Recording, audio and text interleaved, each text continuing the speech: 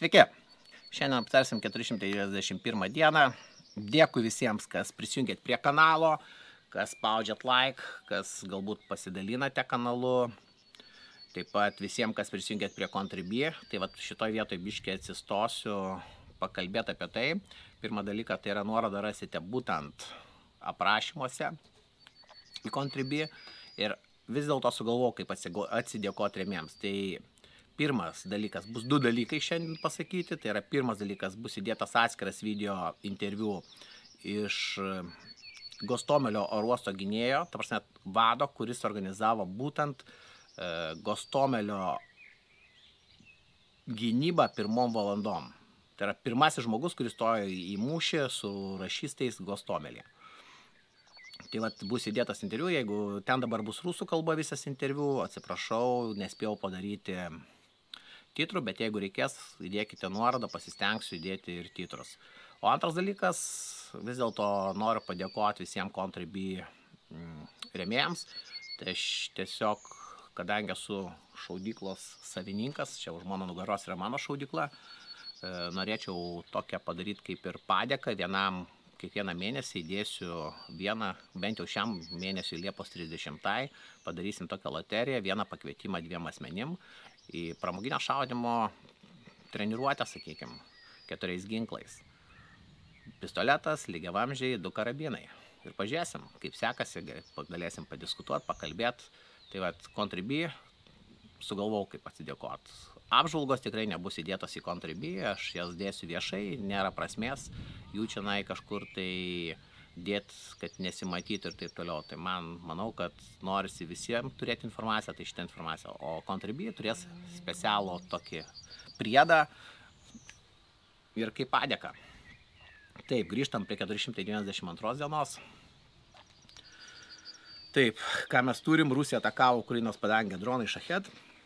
Buvo paleista 13 dronų iš Azovo jūros pakrantės bei paleistos šešias S-300 raketos Zaporyžės ir Čihuajevo miestų kryptimi. Aišku, visos raketos pasiekia taikinius, gaila, bet yra kaip yra, trūksta, trūksta oro gynybos, zentinių priemonių. Toliau, iš, dešimties, iš 13 dronų sunaikinti 10, nu, pavyko prasprūkti trims ir vėl jie tikslą greičiausiai pasiekė. Kas buvo pasiekta, tai neinformuojama. Buvo atlikti 29 atkryžiai ir atlikti, atlikta 60 apšaudimų iš e, zenitinių raketinių ugnies sistemų. Polimo kryptis išlieka Limano, Bahmuto ir Marinkos. Tai čia yra visos kryptis, kurios šiai dienai naudojamos kaip kontrpolimo. Visur kitur jie yra gynyboje. Šiuose kryptise įvyko daugiau nei 30 polimo operacijų. Kaip matom, senka šiek tiek polimo tempas, bet senka dėl daugelio priežasčių. Tai yra e, nelabai atsistato gyvoji jėga, ta prasme, parama ateina, bet ne tokio lygio, kokio norėtųsi. Taip pat ginkluotės trūkumas, amunicijos trūkumas, ką padaro ukrainiečiai naikindami šaudmenų sandėlius. Ir viskas, žiūrim, ką turim. Pasienis su Baltarusija, nuo Lenkijos iki Černyvos ir ties rabu. Čia aišku, vėl tas Wagnerio skandalas, Wagner Gatesas, gal sakyčiau, pajokausiu. E, esmė yra tokia, kad e, atsirado informacija, jau pradeda viešuosiuose interneto šaltiniuose vaikščioti, klaidžioti, kad čia daromos stovyklos Wagneriam ir taip toliau, ir taip toliau. Nu, labai abejoju, kad čia yra Wagneriams, nes realiai, kad įrengs stovyklą, nu, tu turėjai žinoti, nuo įsakymo davimo įrengti ir darbų pradžios praeina laikas, o čia gavosi, kad ne tik baigėsi įsakymas ir mes padarėm. Greičiausiai čia naudojamas informacija ta, kad nuotraukos dedamos tos, kur buvo ruošiamas stovyklos būtent šmobikams priimti iš Rusijos ir juos rengti Baltarusijai. Tai čia greičiausiai tos stovyklos yra. O antras dalykas, kas lygo iš Wagnerio, kol kas nelabai jiems sekasi pasitraukti į, kaip matom, į Baltarusiją, tai tik vienintelis Prigožinas pasitraukė. E, kokiam sąlygom mes nieks nežinom, bet kol kas jis gyvas ir, kiek matom, skraido Minskas, Maskva, Maskva, Minskas ir taip toliau. Tai reiškia, iššeisti skristi toliau niekur negali, skyrus iki Maskvos, bet skraido dėdulė. Tai šitoj vietoj manau, kad e, Wagneriai Rusijoje, sakykime, areštuojami, tai organizatoriai tikrai sėdės, ir jie bus uždaryti, nieks jiems neleis toliau egzistuoti, o pėstininkai, ką pasirašys kontraktus su ZSU, priduos sunkiai ginkluotę ir sunkiai ginkluotę aviaciją ir eis toliau tarnauti kaip pėstininkai, traša Ukrainos žemėn. Tai va šitoje vietoje aš nemanau. Tai ką gali permest Baltarusijom, tai arba bendras projektas bus greičiausiai Batkos, nes Putinas bus tikrai labai įsižeidęs už tą, kad privertė bėgti ir nusižeminti, jį pažemino prieš liaudį, neskaitant tarptautinėje arenoje, tai šitoj vietoj, manau, dar kažką pamatysim, bet čia aš manau, kad yra Batkos projektas, greičiausiai bus su, su Prigožino ir jie pradės treniruotis tipo apsaugos komandas į Afriką ir artimuosius rytus, tai ką dabar ir darė, iš, kur, iš ko jie ir gyveno. Deimantai, aukso kasyklos apsauga, nu ir pats geriausias, patys geriausi sukilėlių draugai. Bet čia kol kas, sakau, tik tai pasvarstymas, nes amerikiečiai jau kyla prieš Wagnerius Afrikoje, Britai liktai ruošia Saso komandas, kurios bus priverstų, nu, stengsis išstumti Wagnerius. Žiūrėsim, kaip čia bus, čia tas, daug, daug, daug tarptautinė arena vyksta visokių irgi dalykų. Bet uh, kitas klausimas, gali būti, kad tiesiog Wagnerį organizuos, beliks tik ką veikti, organizuoti Batkiai asmeninę apsaugą. Nu, tai bus privati kariuomenė, Batkos. O kiek jinai bus galinga, neaišku, čia daug kas klaido, kad bus permesta į Kaliningradą, nemanau. Nes greičiausiai Wagneriai ir Prigožinas bus panaikinti ir iš jų nieko neliks, tai liks tik prisiminimas istorijoje, galbūt geriausiu atveju. Nes ir Rusijai būtų naudinga jį sunaikinti apie patį Wagnerį ir neliktų jokių bylų, kas dabar iškelta prieš Wagnerius ir taip toliau, tai jokių ieškinių. Tai reiškia, būtų niekas, nebūtų prieš ką net pareikšti ir ieškinius. Tai šitoje vietoje su Wagneriais, manau, yra laiko klausimas ir prigožino, kada bus baigta visa šita reorganizacija ir byloje padėta, padėtas taškas. Tas pats e, branduolinio ginklo kortą įsitraukia dabar būtent Batka važinėja, visiems duoda interviu, kam netingi, kas paprašo, visiems duoda, aiškina, kaip jisai slepia tą brandolinį ginklą kokį slepia, jeigu visiems aišku, kur buvo įrengta slėptuvė, branduolinio ginklo saugykla, nebent jisai iš ten išėmė ir vežiosi, bet kol kas nėra nedominu, kad iš visų Baltarusiją pasiekė branduoliniai ginklai. Tai va šitoje vietoje jokingai atrodo, bet, nu, kaip sakom, šiai dienai tapo svarbiu žmogumi, nes išgelbėjo Putiną. Ir vėl Batka pratęsė mokymus parengties lygiui nustatyti, pagerinti, tai yra 60 kartą kažkas paskaičiavo internetinėje erdvėje, nežinau, tikrai juokingai atrodo 60 kartą pratęs mokymus, bet, nu, tegul, tęsia, mokosi. Ką mes turim Kupensko limano kryptį, tai vat, būtent dabar žiūriu į žemėlapį, tai čia proveržių jokių nėra, viskas stovi stabiliai. Ta prasme, vyksta lygiosios, nei viena, nei pus, kita pusė niekas nejuda. Aišku, vyks, didžiausias veiksmas vyksta būtent Bilohirovkos rajone. Tai mes matom šį čia. Čia yra daugiau ir viskas. Toks judesys, tai praktiškai nuo birželio pirmos, tai čia niekas nepasikeitė. Nes kadangi birželio pirmą prasidėjo tas vadinamas kontrpolimas, apie kurį pranešė būtent Amerikos karo tyrimų institutas. Zelenskis po savaitės patvirtino, kad prasidėjo. Tai va, dvi, trys savaitės ar, ar keturios savaitės vyksta kontrpolimas būtent e, Kupensko limano kryptyje nieko nepasistumėta, tai yra lygiosios ir visą mėnesį taip stumėmės. Buvo ten biški rusai atstumė juos, ukrainiečius, iš, išmušė iš pozicijų būtent šitoj netoli Bilohiravkos, bet jie grįžo atgal ir puikiai laikosi. Toliau mes turime būtent Bahmuto kryptį, va čia jau yra įdomu. Bahmuto kryptį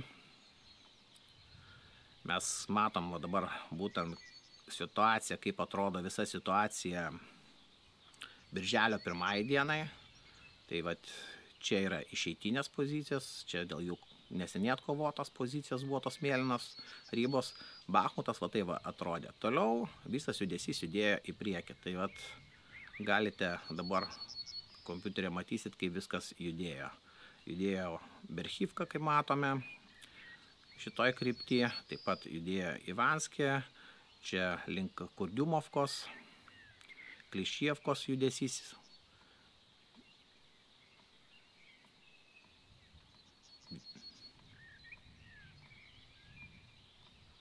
Ir artėjom nuo 19 kažkur dienos pradėjo šiek tiek judėti gan stipriai, sakyčiau,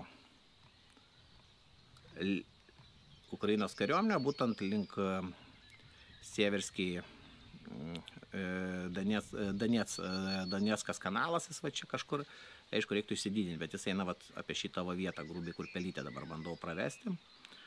Ir iki jo dėjo Ukrainos pajėgos.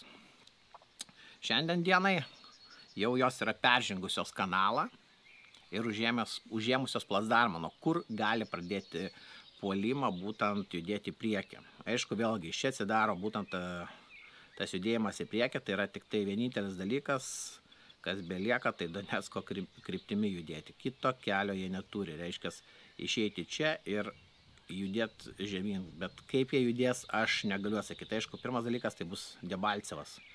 Turėtų atsimušti Debalcevą ir nuo Debalcevo jau tada galvot, ką toliau daryti, nes Donetskas bus jau tokiam kaip ir atkirtime, šoninis atkirtimas, jeigu dar iš apačios bus atkirsta, pakalbėsime, tai realiai galima bus pradėti Donetsko išlaisvinimo operaciją, jeigu taip realiai žiūrint. Toliau mes ką turime? Turime Marinkos kryptį. Čia yra turbūt viena iš karštesnių taškų. Čia ir buvo Ahmat Čiai pasirodę, bet jiems nelabai sekasi. Aišku, dalį Marinkos valdo užėmę Rusijos pajėgos okupacinės, dalį valdo ukrainiečiai. Aišku, kas įvyko, tai va, šitoje va vietoje buvo prasiveržimas ir jie čia įsitvirtino, bet daugiau proveržių pas ukrainiečius ties Marinka ir nebuvo. Tai reiškia, šita linija yra tokia vėlgi lygiosios. Nieko pažangos nėra per tą mėnesį kažkurios, kuri būtų adekvati ir toli pažengusi. Tai vienintelis tas didelis pažengimas, ką mes matom, tai yra Bahmutas, Bahmuto kryptimi. Lygiai tas pats yra po Marimkos Avdyivka, kur yra nedidelis, kur ta Avdyivka dabar, kai reikia rasti, čia Vuhledaras, jaučiu prašokau Avdyivka. Jis yra irgi įsiterpusi, e, e, šiek tiek e, tokių pleištų į priekį ir sudaro didelę problemą būtent, va čia Avdievką radau, pleištus ir sudaro problemą būtent Rusijos paėgom. Tai vienintelis yra prasiveržimas, kas Avdievkui pasisekė, tai proveržis Veselėje rajone. Aišku, jiems reikalingas vat, šitas kelias atkovoti. Jeigu šitą kelią atkovos, tada jau, aišku, šitas kelias, bet jie turės išeiti į priekį ir juo bus galima organizuoti gerą logistiką.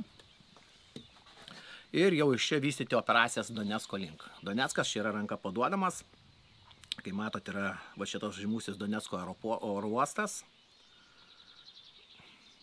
Tai belieka iš Abdievkos Aišku, čia nori, nenori, reikia visą tą kraštą vadenają perimti, opitinę kontrolės, čia yra aukštumos ir išeiti ant Spartako aukštumų. Ir nuo Spartako jau tada pasileist, be, beliks tik tai į aplinkelį. Į miestą lysti aš nemanau, kad lys. Ir aišku, piskus atkov, apie piskus reiks atkovoti ir va šita valinė gausias, dėl kurios dabar ir kovojama. Jeigu jie čia išlygina, Donetskas pradedama Donetsko išvadavimo operacija. Kol kas čia pažanga tokia minimali yra. Bent jau per tą visą mėnesį. Toliau mes turime Vugledaro kryptį. Vugledaras Berdianskas. Kodėl Vugledaras Berdianskas, aš negaliu atsakyti, jie taip vadina šitą kryptį, man būtų labiau Vugledaras Mariupolis, nes kadangi atstumas nuo Vugledaro iki Mariupolio, jeigu neklystu, apie 80 km, nu, grubiai sakykime, dedam čia. Jo, 82 km, va taip, tokioje linijoje gaunasi. O jeigu įmame Berdianską, tai va, įsivaizduokit, Berdianskas yra 120 km. Tai kažkaip tai kryptis. O antras dalykas, keistas judėjimas bus. Aišku, Rozrivka jie turės kažkaip judėti, aš nežinau, Valnavachą imti, tada čia kreip, ne, nežinau, sakau, kaip jie judės, labai sunku pasakyti, bet kol kas yra kryptis Vugledaras šita pusė. E, Berdianskas vadinama kryptis. Matysim, jinai gali keistis, čia nieko nuostabaus, Taip, toliau mes turim Orechovą, va šitą rajoną. Ai, dar palaukit, be Orechovo mes turėjom šitoje vietoje atkovotas pozicijas, gan neblogas proveržys buvo. Tuoj proveržys buvęs pas mus vat, būtent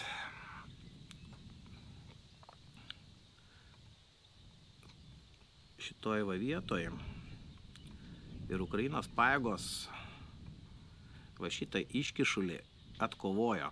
Tai va jeigu mes čia šiandien turim, ką matot, mėlyną juostą, tai jeigu pakeisim datą, kai tik į birželio pirmą,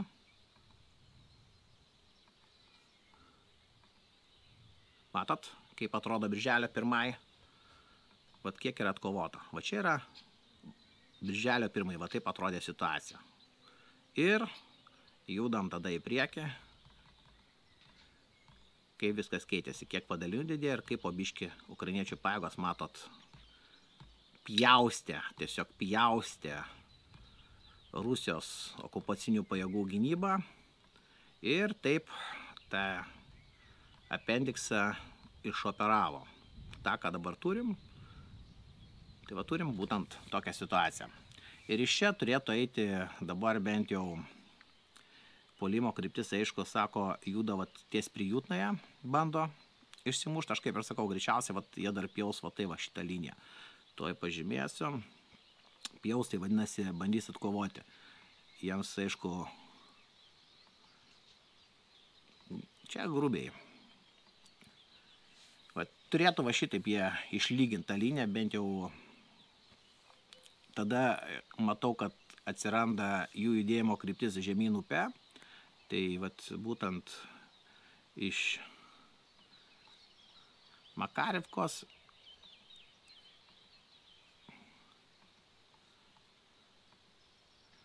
ir va čia judės vat, šituo Krasnapolianos kryptimi, sakyčiau. E, e, Ravnopolio, vat, ką mes matom į šitą pusę. Iš čia atsidaro jau atkirtimas kelio pirmas dalykas, tai vat, šitas kelias yra tiekimo kelias. Plus toliau yra kita kryptis, kur yra pažanga, tai Orechovas. Tai va šitoje vietoje lygiai taip pat yra. Pažangos nedaug, bet vis dėlto buvo atkovota. Atkovota Kamenskė, va čia šiek tiek pajudėta į priekį atkovota linija yra ir taip pat pajudėta va šitoje kryptyje. Aišku, šitoje kryptyje iš Orechovo, tai greičiausiai formuosis Melitopolio kryptis, aš kaip sakau. Galim pažiūrėti, kodėl jinai formuosis. Vat, įsivaizduokit, tai ką mes matom dabar gynybinės linijas. Tai visam, visoje linijoje, va ta antroji linija, tai va čia yra ta vadinama antroji linija. Yra ir trečioji linija netgi Melitopolio, Tokmako Melitopolio apsaugai padaryta šoninė linija, jeigu ateitų nuo Hersono būtų prasiveržimas. Tai įsivaizduokit, takmakas, kaip matot, yra pilnumoje padaryta žiediniai gynybai. Ar verta čia judėti? Aš nemanau. Tai greičiausiai judės apeis takmaką ir judės Melitopolio, būtent Melitopolio, Melitopolio kryptimi, nes Melitopolis yra mažiausiai apsaugotas. Tai jeigu iš čia išeis, tada takmakas nori, nenori, turės pats atsitraukti ir jam niekur nebelieka trauktis, trauktis belieka tik tai į gilumą. Tai nemanau, kad jiem čia bus labai faina trauktis ir judės toliau. Tai vad, kai matot, situacija tokia fronte yra įdomi ir jinai vis dar keičiasi ir, ir manau, kad keisis gan stipriai. Lauksim, lauksim, lauksim pažangos. Žiūrėsim, ką per artimiausią laikotarpį nu, nuveiks Ukrainos pagos. Bet daug kur pajudėti jie nelabai galės, sakykime, jeigu kai matot jeigu eiti į kontrpuolimą, tai kai mes visi norėtume, tai va įsivaizduokit, ką matot. Vientisas, vientisas gyvybos linijas. Kur be pažiūrėsit. Tai čia dabar, kaip sakoma, grauštis ir judėti į priekį, tai bus labai dideli nuostoliai pas ukrainiečius, nes tam bus reikalinga gyvoji jėga, o gyvoji jėga labiausiai kenčia. Tai yra pats brangiausias dalykas, ką mes turim fronte, tai gyvoji jėga. Tai jiems tik tai belieka, norim žiūrėkim, kaip, kaip be pasakysim, belieka tik tai vat, nuo Očiakiv daryti perkelą į šitą sąsiaurį ir tada jau čia ieškoti vietų irgi perkeloms. Novai Kachovkui galbūt, galbūt šiek tiek aukščiau link elektrinės ir tada daryti perkelas ir iš čia vystyti polimą į flangą ir atkirsti Krymą. Nes, nu, kaip matot, čia yra tikrai padaryta gera gynybos linija ir jinai tikrai nelūš, taip kaip įsivaizdavom, kad lūš Her, Harkove. Nes čia dabar gražiai pralo, pralo, pra, prasileidžia ukrainiečius ir jie taktiškai gražiai atsitraukia į galą į sekančias pozicijas. 100, 300 metrų, 500. Tai jeigu dabar pasižiūrėjęs, tai geriausiu atveju yra atkovota 300 kvadratinių kilometrų. Tai kas tai yra? Visiškai nieko. 15 km į plotį, 20 į gilį. Nu, jokauju, aišku. Tai yra pajudėta, jo, 300 kvadratinių kilometrų bus. Tai nėra daug. Tai yra, kadangi puolimo greitis per parą yra šiaip standartinis mažiausias apie 20, o šiaip idealus yra 30 km per, valą, per, per parą. Tai va šitoje vietoje ukrainiečiai kol kas stagnuoja ir aišku, mes matom, kad kažką jie galvoja. Nes jeigu mato, tikrai nėra vakarietiškos įrangos, technikos, tiksliau technikos, kuri darytų kumščius. Jis šiek tiek pasišpaguoja ir atsitraukia, pasišpaguoja, atsitraukia. Reiškia, arba pobiški mokosi ją valdyti tankų šarvuočio operatoriai tą technikai supras, kaip jinai valdosi, nes vis dėlto reikia patirties mūšio laukia. Toliau supras, kaip įranga dirba, nes ten yra tikrai geros įrangos, tai yra būtent naktinė, šil, šiluminė įranga, kur tu matai mūšio laukia priešininką labai toli. Tai šitoje vietoje aš manau, kad dabar vyksta ir būtent mechanikų pasi, parengimas aktyviom sąlygom, o antras dalykas, jie laiko, tą kumštį laiko. Kam laiko, mes nežinom. Tai vat, manau, kad mėnesio gero bėgyje labai gerai paaiškės. Vėlgi taip pat orai pasikeitė. Dabar bent jau ties Marinka, toj krypti šiandien or, or, orus kalbėjau, lietus lyja, reiškia, žemė yra pažliugusi, puolimui tikrai nėra idealios sąlygos. Tai ką aš galiu pasakyti, kad kol kas su technika pult negalės, o pėstininkai daug nepadarys, nes tikrai visur yra gerai įsirengę, mm, įsirengę gynybinius, gynybinės pozicijas rusai. Tai sakyčiau, dabar yra visam fronto laukia daugiau mažiau šiek tiek laimi ukrainiečiai bendrajam vaizde, bet laimi tik tai dėl to, kad turi geresnę ginkluotę, net taktikoje. Kol kas apie taktiką sunku pasakyti, ką jie naudoja, kaip naudoja, bet vietinius mūšius laimi, po biškis stumėsi, tai, sakykim, 100 metrų į dieną, geriausia atveju pusantro kilometro kažkurioje fronto linijoje. Viskas fronto krypti, tai čia yra 1000 km turint fronto linijos, tai 300 kvadratinių metrų, tai čia yra niekas, kilometras turbūt 500 metrų į priekį paeita per visą fronto liniją. Tai fronto linija 500 metrų į gilį, tai visiškai nieko. Nu, aš čia vidurkį bandau, kad suprastumėt. Net ne 500, 250 metrų, 300 metrų turėtų būti paeita į priekį per visą fronto liniją, jeigu išdalinsim 300 kvadratinius kilometrus. Tai visiškai nieko šioje vietoje yra. Tai todėl aš manau, kad reikia stebėti ir laukti, kas toliau bus. Aišku, greičiausiai bando dėrėtis, kad greičiau pristatyti būtų lėktuvai arba tolimo veikimo raketos, kurios dabar tikrai dirba puikiai ir puikiai naikina tolimuosius sandėlius. Tai vad, kol kas šiandien tokią situaciją turim, kokia jinai yra. Su minimalia pažanga, kryptis aiškios, tai Militopolis, sakyčiau. Toliau, bet būtent man labiau atsidaro uh, Melitopolio kryptis, ką aš matau, aš matau Hersono kryptis atsidaryti turėtų ir trečia kryptis, sakyčiau, turėtų prasidėti būtent iš Bahmuto.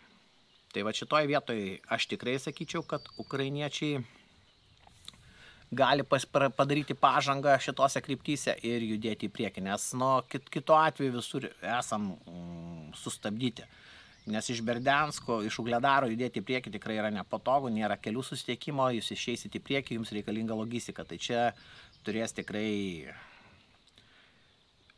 greičiau judėti lengviau iš Orechovo negu iš Ugledaro, sakyčiau, pajudėti į Berdenską. Bet kažkodėl tai taip ir bus greičiausiai iš Ugledaro pajudės Mariupolio link. Mariupolį šiais metais turėtų atkovoti, aš sakyčiau, jeigu taip vertinant, tai ką matom, po biški, po biški išsekins priešą ir priešas vis tiek nori, nenori, pradės e, po biški atsitraukinėti arba išvesdinėti pajėgas. Kur artimiausias momentas, iš kur gali būti išvedamos pajėgos, tai sakyčiau iš Hersono pusės, nes jau tai ir buvo padaryta. 45 armija buvo išvesta pastiprinimui, ten liko dabar pakrančio apsaugos dalinys, būtent kuris Krymą saugojo. Ir jeigu iš ten išvesdinės, tai aš manau, kad ukrainiečiai tą situaciją tikrai pasinaudos, nes ten dabar irgi nėra labai daug pajėgų, tai kad ir ne iš, ne, ne iš ten išvesdinėjų, sakim, geros valios galbūt ženklus parodys, apleisim tą Hersono pusę.